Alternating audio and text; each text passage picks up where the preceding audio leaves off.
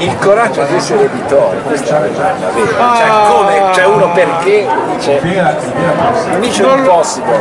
Non lo so, Eh, non lo vivo, eh, forse sarò spericolato, forse perché fin, fin da, da bambino è stata eh, la mia vita vivere in questo modo. Ma il piacere del profumo del libro, la carta, la lettura, tutte Lo queste vivo, cose insieme. lo vivo da 30 anni perché sono libraio da 30 anni e editore da Quindi hai 18 fatto, hai fatto un passo Sì, diciamo, all'inizio. esatto, mi sono un po' Un'evoluzione. esatto. Quante fiere fai per promuoverlo?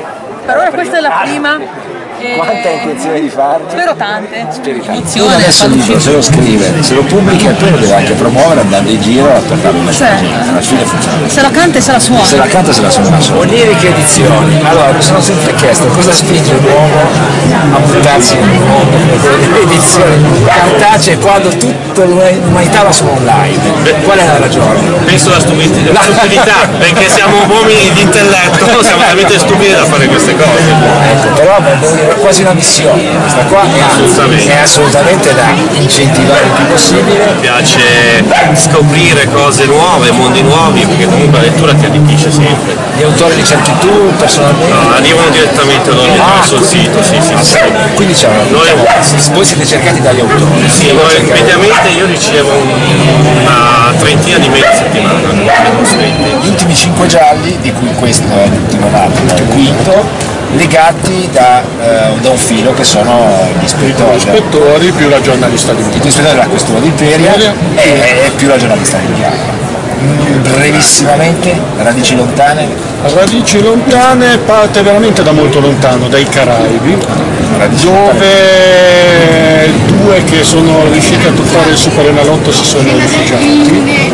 E, però poi lì cominciano i guai, perché quando hai molti milioni e che non puoi piazzarli in modo legale, qualcuno che vive meglio di te nel mondo illegale ti viene a cercare. Ma che un giallo mi sembra. No, Eh. quello che mi dici sembra quasi una cosa di attualità. Ma sì. La domanda è, alla fine del libro, si lavora tanto tanto di più o la gente viene solo per i libri? Non rispondi. Non comment. Come non ne come? Eh, noi-. Lavoriamo, lavoriamo. Lavorate, lavorate, lavorate. Lavoriamo perché abbiamo i prodotti buoni. Però qui c'è il video festival. Allora, la concorrenza, no? Perché quella che questa è carta stampata l'hai messa solo video. Esatto. È ben fatta direi, funziona la fiera di Anzi, ti ha ispirato? In parte. Sono- diciamo che sono contento che avvengano delle cose di Imperia, come ho sempre detto, no, io non sono geloso delle mie cose, sportiamo sempre tutto, quindi eh, eh, più cose si fanno ad Imperia, chiaramente meglio è. La fiera del libro arriva anche prima, sta funzionando.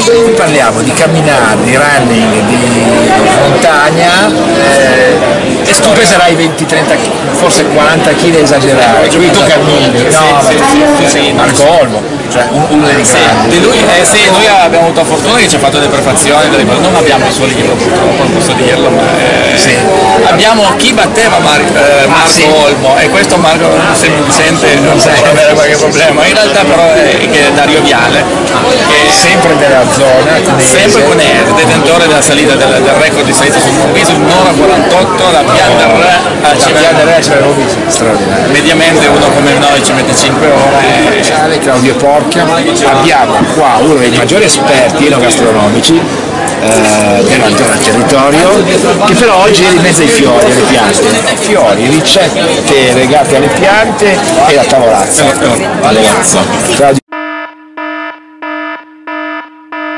Il Galateo dei Fiori aveva un legame importante perché i disegni di questo libro di Barbara Ronchi sono stati fatti da Libereso Guglielmo, quindi c'è una sorta, un, un gossipiato, un grande amore quest'estate fra Barbara Ronchi della Rocca e Libereso, per cui lei faceva questo libro sui fiori e Libereso gli ha regalato questi, questi suoi disegni.